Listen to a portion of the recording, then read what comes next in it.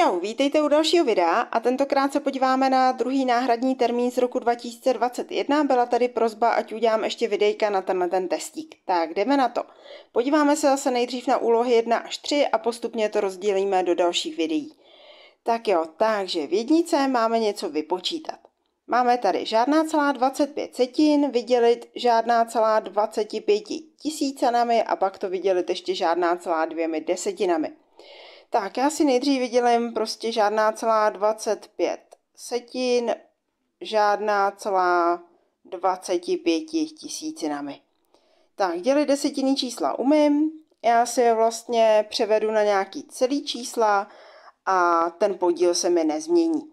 Takže tady vidím tři desetinný místa, to znamená obě čísla si vynásobím tisícem, já si to sem takhle napíšu, takže žádná celá 25 setin krát tisíc je 250, děleno žádná celá 25 tisícin krát tisíc je 25, 250 děleno 25 je 10. Takže tam pak budu mít 10 děleno žádná celá dvěmi desetinami.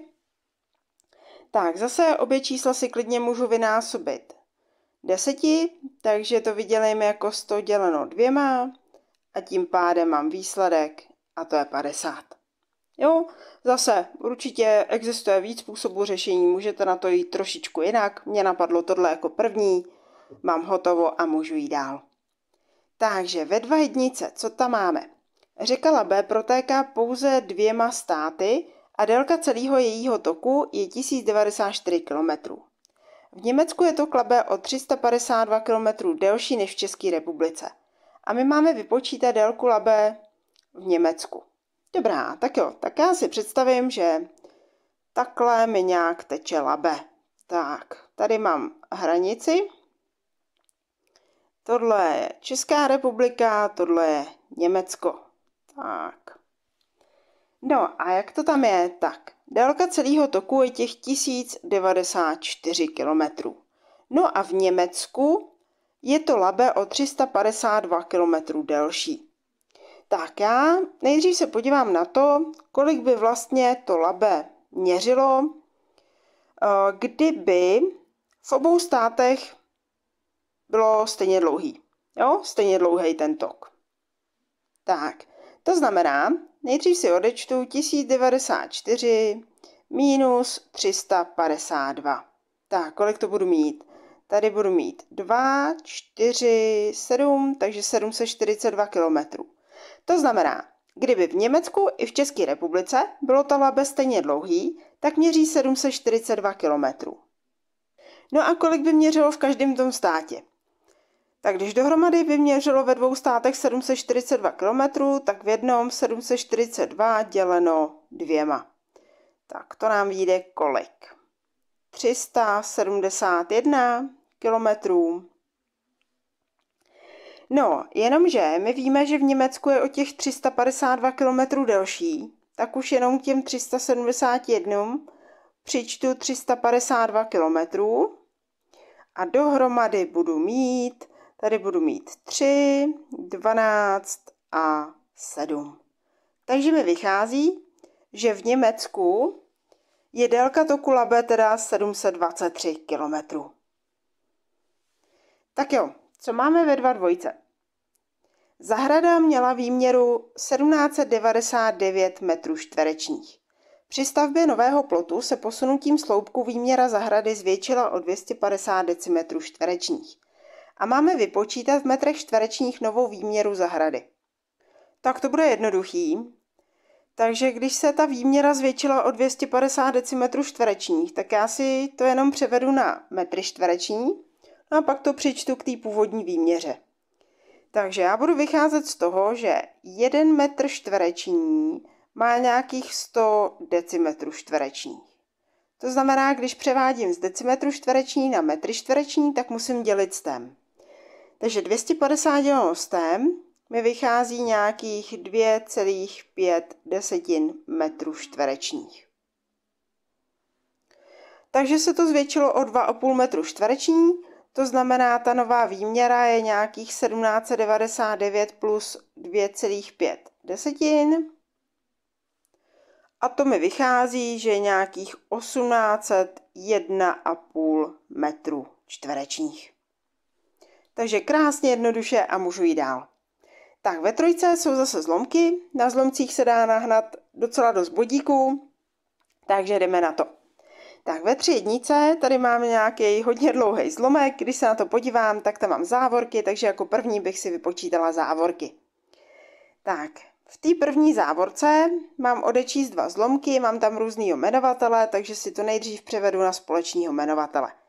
Nejmenší společný násobek osmičky a dvanáctky bude 24.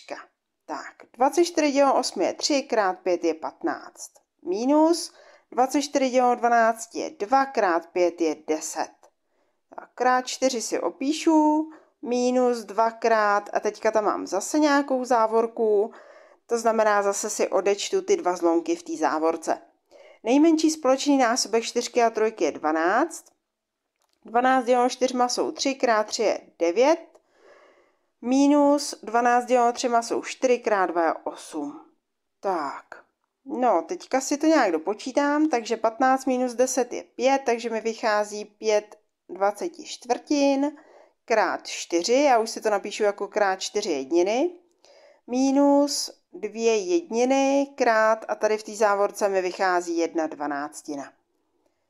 Takže teďka vím, že násobení má přednost, takže než začnu násobit, tak se ještě něco zkrátím. 24 a 4 jde zkrátit čtyřma, ze čtyřky mi zbyde jednička a z 24 mi zbyde šestka.